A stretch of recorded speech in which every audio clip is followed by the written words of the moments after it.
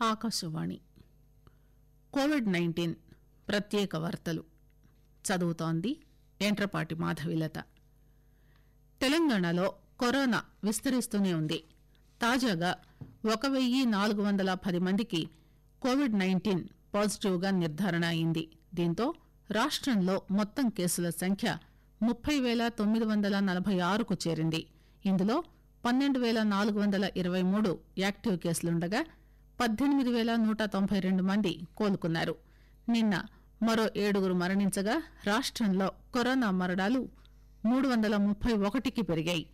కొత్తగా నమోదైన కేసుల్లో అత్యధికంగా జీహెచ్ఎంసీ పరిధిలో తొమ్మిది వందల పద్దెనిమిది ఉండగా రంగారెడ్డిలో నూట ఇరవై ఐదు మేడ్చల్లో అరవై ఏడు సంగారెడ్డిలో డెబ్బై తొమ్మిది వరంగల్ అర్బన్లో ముప్పై నాలుగు కరీంనగర్లో ముప్పై రెండు కొత్తగూడెంలో ఇరవై మూడు నల్లగొండలో ఇరవై ఒకటి నిజామాబాద్లో పద్దెనిమిది ఖమ్మంలో పన్నెండు సూర్యాపేటలో పది మెదక్లో పదిహేడు మహబూబ్ నగర్ సిరిసిల్లలో ఎనిమిది చొప్పున వరంగల్ రూరల్లో ఏడు భూపాల్పల్లిలో ఆరు వికారాబాద్ మహబూబాబాద్లో ఐదు చొప్పున కామారెడ్డి యాదాద్రి జనగామ వనపర్తి గద్వాల జిల్లాల్లో రెండు చొప్పున సిద్దిపేట ములుగు ఆదిలాబాద్ పెద్దపల్లి జగిత్యాల జిల్లాల్లో ఒక్కో కేసు ఉన్నాయి. తెలంగాణలోని కోవిడ్ ప్రభుత్వ ఆసుపత్రుల్లో చికిత్స నిమిత్తం మొత్తం పదిహేడు పేల ఎనబై ఒక్క పడకలు సిద్దంగా ఉండగా ఇందులో పదకొండు పేల తొమ్మిది వందల ఇరవై ఎనిమిది బెడ్లు ఐసోలేషన్ బెడ్లు మూడు పేల ఐదు వందల ముప్పై ఏడు బెడ్లకు ఆక్సిజన్ సదుపాయం ఉంది. ఒక వెయ్యి ఆరు వందల పదహారు బెడ్లు ఐసీయూ బెడ్లు. అయితే నిన్నటికి వీటిలో కేవలం తొమ్మిది శాతం బెడ్లు మాత్రమే భర్తీ అయ్యాయని తొంభై ఒక్క శాతం బెడ్లు ఖాళీగానే ఉన్నాయని వైద్య ఆరోగ్య బులెటిన్ వివరించింది.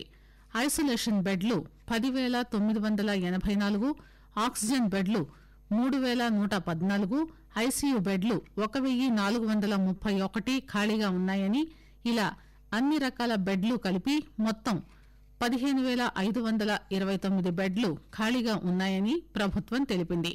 గాంధీ ఆసుపత్రిలో ఒక వెయ్యి నూట పద్దెనిమిది బెడ్లు ఖాళీగానే ఉన్నట్టు మెడికల్ బులెటిన్ వివరించింది. ప్రజలెవరూ భయపడాల్సిన అవసరం లేదని ప్రభుత్వ ఆసుపత్రుల్లో సదుపాయాలు సరిపడినంతగా ఉన్నాయని వివరించింది. ఇక నిన్న తెలంగాణలో ఐదు పేల తొమ్మిది వందల యాభై నాలుగు మందికి కరోనా నిర్ధారణ పరీక్షలు నిర్వహించగా నాలుగు పేల ఐదు వందల నలభై నాలుగు మందికి నెగిటివ్ వచ్చింది. రాష్టంలో నిన్న సాయంత్రం వరకు లక్ష నలభై పేల ఏడు వందల యాభై ఐదు నమూనాలు పరీక్షించగా ఒక లక్ష తొమ్మిది పేల ఎనిమిది వందల తొమ్మిది నమూనాల్లో నెగిటివ్గా వచ్చినట్టు వైద్య ఆరోగ్య శాఖ వెల్లడించింది. రాష్టంలో కరోనా వ్యాప్తి పెరుగుతోంది. దీంతో ప్రజలు మాస్కులు తప్పనిసరిగా ధరించడం సామాజిక దూరం పాటించడం వ్యక్తిగత పరిశుభ్రత చేతులు శుభ్రపరచుకోవడంపై నిరంతరం అప్రమత్తంగా ఉండాలని వైద్యులు సూచిస్తున్నారు. తెలంగాణలో తొలి పాజిటివ్ కేసు మార్చి రెండున నమోదు కాగా ప్రస్తుతం రాష్టంలో పాజిటివ్ కేసుల సంఖ్య ముప్పై వేలు దాటింది. కరోనా లాక్డౌన్ కారణంలో వైరస్ అదుపులో ఉన్నప్పటికీ లాక్డౌన్ సడలించిన అనంతరం వైరస్ వ్యాప్తి విస్తృతమైంది.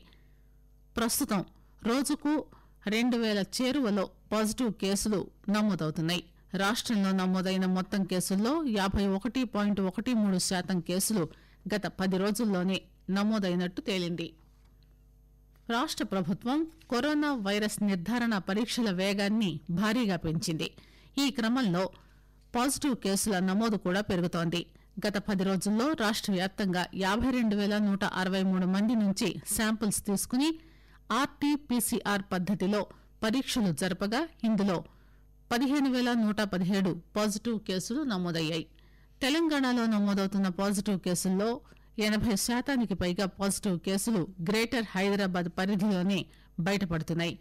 రాష్ట వ్యాప్తంగా నమోదైన పాజిటివ్ కేసుల్లో రెండొంతులకు పైగా పాజిటివ్లు జీహెచ్ఎంసీ ఏరియాలో ఉన్నాయి. గ్రేటర్ తర్వాత రంగారెడ్డి హైదరాబాద్ జిల్లాల్లో వైరస్ బారిన పడుతున్న వారు అధికంగా ఉన్నారు. వరంగల్ అర్బన్ వరంగల్ రూరల్ నిజామాబాద్ కరీంనగర్ సంగారెడ్డి జిల్లాల్లోనూ వైరస్ ప్రభావం ఎక్కువగా ఉంది. ఆకాశవాణి. కోవిడ్ పంతొమ్మిది ప్రత్యేక వార్తలు ఇంతటితో సమాప్తం.